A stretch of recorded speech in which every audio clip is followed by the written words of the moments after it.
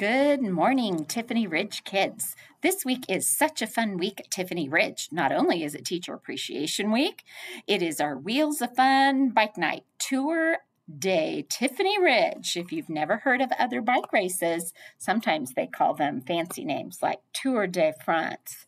But we are having Tour de Tiffany Ridge on Thursday evening. It's also the big evening where we're, we will be celebrating Tiffany Ridge's 10th birthday. So get excited. We want everyone to be able to come to our celebration. But the fun doesn't end there. On Friday, we are having our annual Tiffany Ridge Fun Run. So every student will have an hour to run on the soccer field and, of course, enjoy some inflatables and fun music as a fundraiser for our school. The funds that we raise will be used to buy more playground equipment, things for our playground, and other fun things that your teachers use in their classrooms to make learning fun for you. So, we want every single person to return the envelope that was sent home with you, and we would hope that you or family members would be willing to donate some money to help us meet our fundraising goals. Even if your family cannot donate at this time, and we understand that that happens sometimes, please return your envelope to your teacher. Here's why.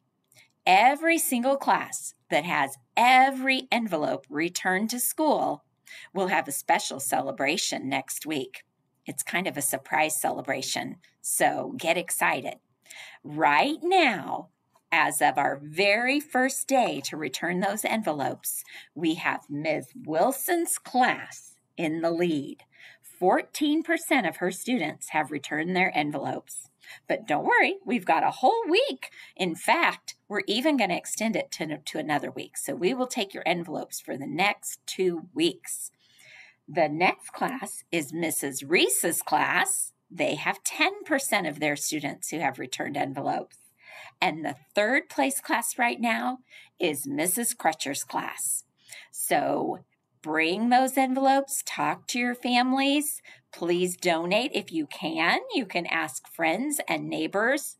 Don't go door to door to houses you don't know, but you can ask friends and relatives if they would be willing to donate to your school so we can buy new things for our playground and fun things for your classrooms. Sometimes in your classrooms, you get new games, new seating options, new tables, all the things that help make your learning fun and interesting.